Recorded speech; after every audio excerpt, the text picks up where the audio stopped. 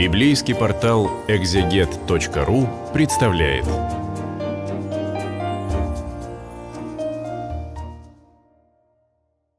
Сегодня на библейском портале «Экзегет» мы продолжаем изучение четвертой книги царей, и сегодня мы будем читать 16 главу этой книги. В 17 год Факия, сына Ремалина, воцарился Ахаз, сын Иофама, царя Иудейского. То есть это династия царя Давида. 20 лет был Ахаз, когда воцарился, и 16 лет царствовал в Иерусалиме, и не делал угодного в очах Господа Бога своего, как Давид, отец его. Но ходил путем израильских, и даже сына своего провел через огонь, подражая мерзостям народов, которых прогнал Господь от лица сынов Израилевых, и совершал жертвы и курение на высотах, и на холмах, и под всяким тенистым деревом. Мне кажется, вот э, такую ужасную метаморфозу э, среди иудейских царей э, мы можем объяснить э, тем, что они в какой-то момент породнились э, с израильскими царями, когда брали их э, дочерей за себя. И грех э, Иераваама таким образом вошел как бы в дом царя Давида. А, но вот этот правитель как бы превзошел всех. Он сына своего провел через огонь, что прямо запрещено в законе Моисеевом, что через огонь проводить э, детей нельзя. Чаще прохождение через огонь это был культ э, языческого Молоха, которому поклонялись. И то, что он э, делал, этот правитель, он не просто разрешал, чтобы были курения на высотах, мы прочитали, что он сам совершал жертвы курения на высотах и на холмах, и под всяким тенистым деревом. Что значит под всяким тенистым деревом? А, такой же, наверное, физически невозможно, под всяким деревом. Имеется в виду, что он пользовался каждой возможностью э, совершить э, акт э, идолопоклонства и не упускал случая там, где такая возможность ему предоставлялась. И далее мы читаем Тогда пошел Рецин, царь сирийский, и Факей, сын Ремалин, царь израильский, против Иерусалима, чтобы завоевать его, и держали Ахаза в осаде, но одолеть не могли. А, с одной стороны, он как бы перенимает э, грехи э, царей израильских. Мы прочитали, что он ходил их э, путями – а с другой стороны, против него выступает э, израильский царь вместе э, с сирийским.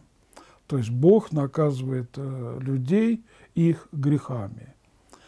И посмотрите, как в 90-х годах у нас преклонялись перед Америкой, перед Евросоюзом.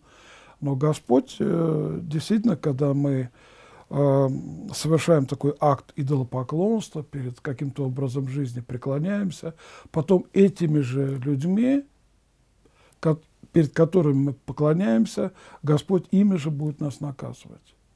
И вот этот иудейский царь, потомок Давида, который ходил путем царей израильских, теперь израильские цари пришли, чтобы уничтожить его, чтобы отобрать его э, царство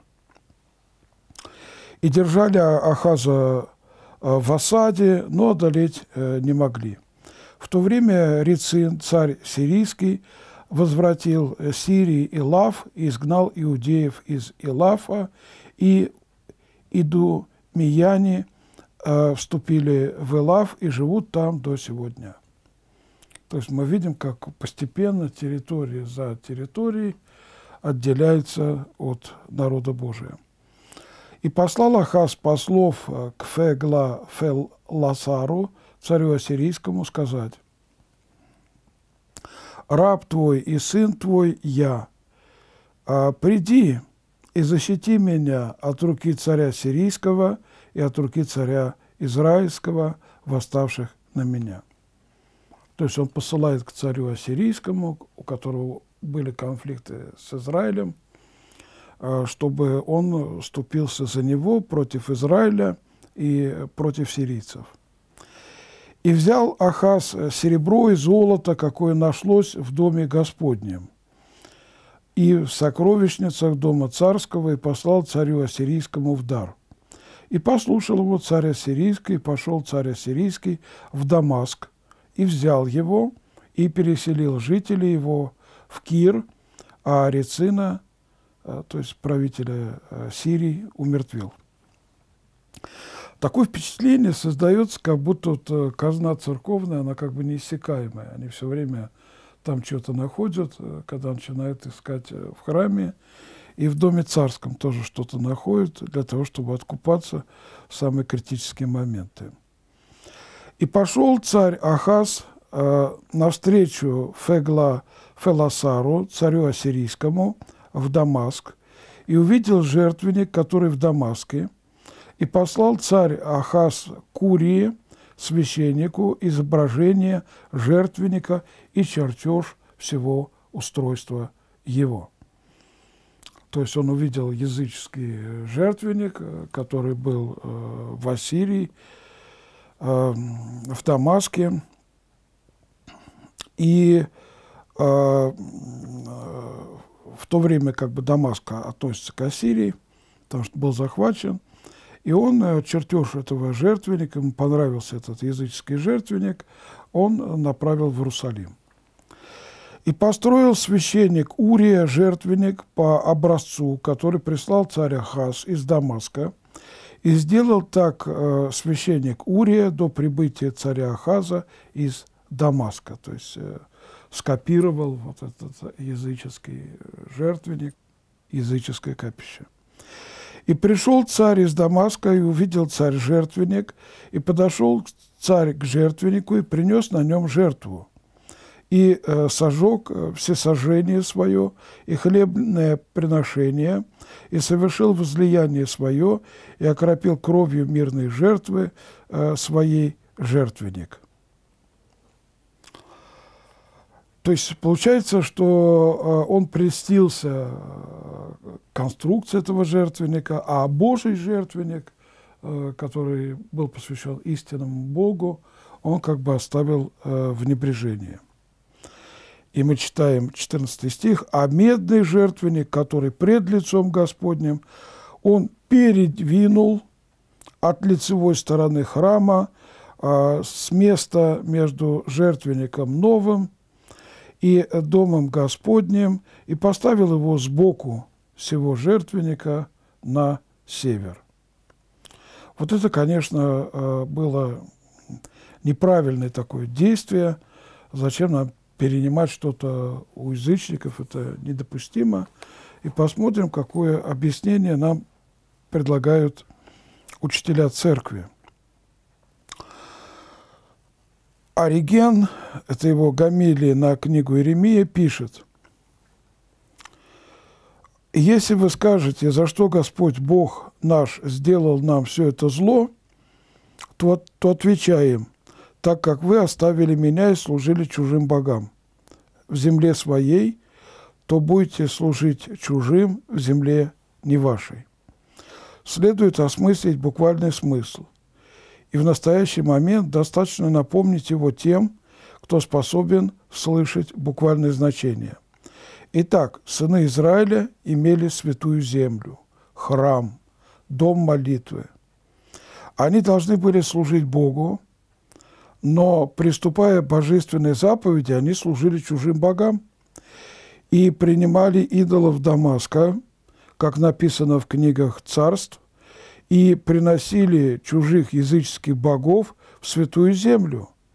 И за то, что они принимали этих языческих идолов, они сделали себя достойными быть изверженными в землю идолов и остаться там, где поклонялись идолам.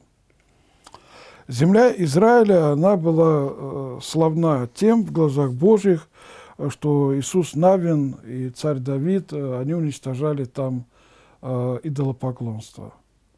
И судьи израильские тоже уничтожали идолопоклонство. Но когда еврейские цари начинают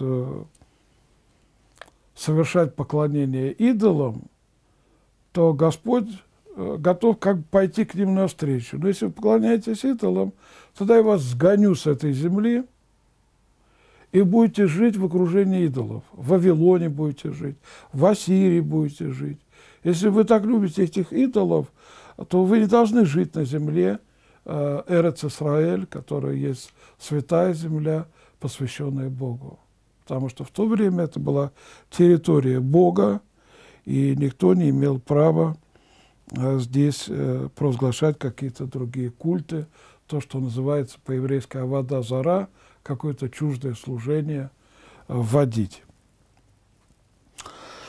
И мы читаем далее. «И дал приказание царь Ахаз священнику Урии, сказав, на большом жертвеннике – Э, сожигай утренние всесожжения и вечерние хлебное приношение и всесожжения от царя и хлебное приношение от него и всесожжения от всех людей земли и хлебное приношение от них и э, возлияние от них и всякой кровью всесожжений и всякой кровью жертв окропляй его. А жертвенник э, медный – останется до моего усмотрения. То есть Божий жертвенник, значит, они поставили где-то сбоку, медный жертвенник, а вот этот срисованный у язычников становится их святилищем. Так что же удивляться, что пройдет немного времени, и они потеряют всю эту землю. Потому что Господь э, поругаем Он не бывает. Но меня тут удивляет действие этого священника Урия, как я понимаю, он первосвященник, который, безусловно, выполняет все приказы царя. Вот э, такое положение называется э, цезарепапизм, когда светская власть командует церковными властями, и те во всем подчиняются светской власти. Цезарь папизм в некотором смысле он бывает значительно хуже, чем папизм, когда духовные лица начинают управлять э, светскими властями. Ведь мы знаем, что ни один правитель не может даже кадила принести, ни один царь не может даже кадила принести пред лицо Божие, а каждый священник, диакон совершает э, кождение, это как бы в порядке вещей. И то, что делает Урия, конечно, очень печально. И сделал священник Урия все так, как э, приказал царь Ахаз. И обломал царь Ахаз ободки у подстав, то есть он начинает уже портить э, священные предметы, и снял с них умывальницы, и э, море снял с медных валов – Э, которое было под ним, и поставил его на каменный пол. Просто разбирает э, э, всякие предметы, которые были связаны с почитанием Бога единого, и которые были установлены по прямому Божьему указанию. И отменил крытый субботний ход, который построили при храме, и внешний царский вход к дому Господню ради царя Ассирийского. А почему тут царь Ассирийский? Вот, так, вот такую реформу э, затеял этот э, правитель. Ахаз э, все как бы на чужой образец. И это печальное явление, когда мы начинаем подражать э, представителям других религиозных групп, которые никакого отношения к нашей религии могут и не иметь. Прочее об Ахазе и что он сделал, написано в летописи царей иудейских. «И почил Ахаз с отцами своими, погребен с отцами своими в городе Давидовом, и воцарился Изыкия, сын его, вместо него». Посмотрим, э, какой еще комментарий есть э, у отцов э, по поводу этого Ахаза. Это будет комментарий Феодорита Кирского. Это его работа, которая называется «На спорные вопросы». Кому Ахаз повелел воздвигнуть жертвенник в храме Божьем? Я не думаю, что он устроил его Богу всяческих, но скорее какому-нибудь из лжеименных богов. Ибо на это намекает книга Паралипоменон, сказано так, и Ахаз а, продолжал отступать от Господа, и сказал царь Ахаз, «Взыщу богов дамасских, поражающих меня, и сказал, что боги царя э, сирийского помогают им, поэтому принесу им жертвы, и они помогут мне. И были они нападение ему и всему Израилю. То есть логика Ахаза была такая. Если вот э, ассирийцы и сирийцы одерживают э, победу над народом Божьим, значит, их боги, они сильнее. А, и он начинает приносить э, жертвы э, вот этим э, богам. Не понимает того, что э, поражение-то он терпит не от э, богов языческих, которых вовсе не существует в духовном мире, а он терпит э, поражение именно за то, что он допускает культ чужих богов и поклоняется им, и за это Бог истинно от него отвернулся. И далее. И это ясно показывают следующие слова. «И собрал Ахаз э, сосуды Дома Божия, и э, сокрушил их, и запер двери Дома Господня, и устроил себе жертвенники по всем углам э, в Иерусалиме». То есть он уже как бы не ограничивается местом храмовой горы, он по всем углам начинает ставить какие-то жертвенники, об этом говорится в книге Паралипоменон, 28 глава, 24 стих. Он э, соделал эти и другие подобные тому дела. И это отмечает и сама книга царств, ибо сказано, и пошел царь Ахаз навстречу Фегла Феласару, царю ассирийскому, в Дамаск, и увидел жертвенник, который в Дамаске послал царь Ахаз Курии, священнику, изображение жертвенника и чертеж всего устройства его. Итак, продолжает Феодорит Кирский, он тотчас э, переставил мед, медный жертвенник, который построил Соломон, и поставил э, на его место новосооруженный.